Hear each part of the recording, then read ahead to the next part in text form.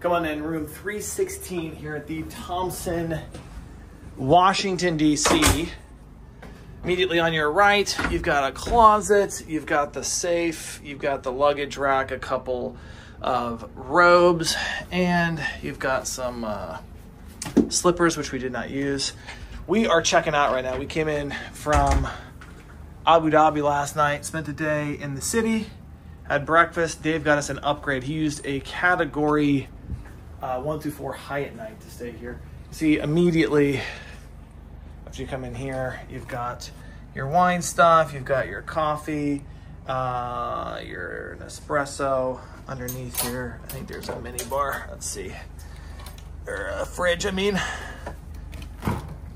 Yeah, a few little things in there. Uh, this is not, we brought that. And then you can see it's, it's a nice size.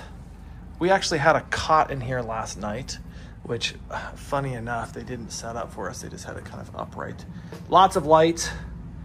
Uh, we move things around. That's the bedding from the cot. But you've got plugs on either side. You got your flat screen there. Everyone makes fun of me and says I'm old for saying flat screen. And then all of our towels because we are checking out. And you've got a decent sized shower here.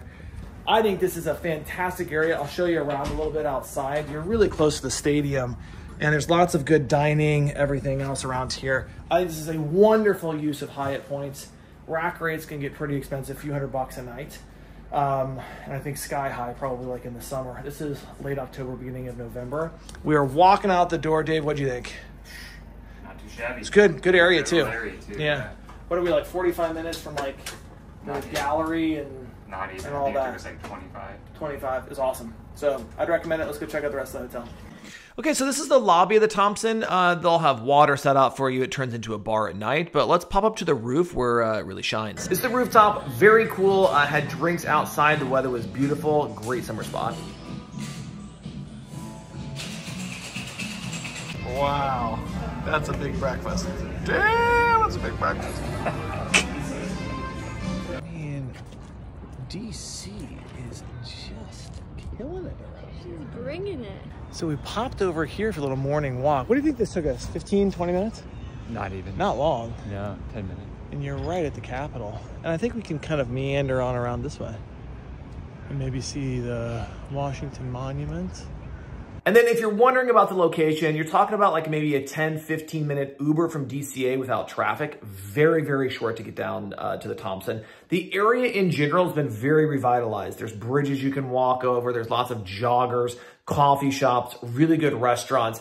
I really liked it. I was a bit uncertain as to whether I would and how I would feel, but like after seeing it, I really, really liked it. And clearly I went back again.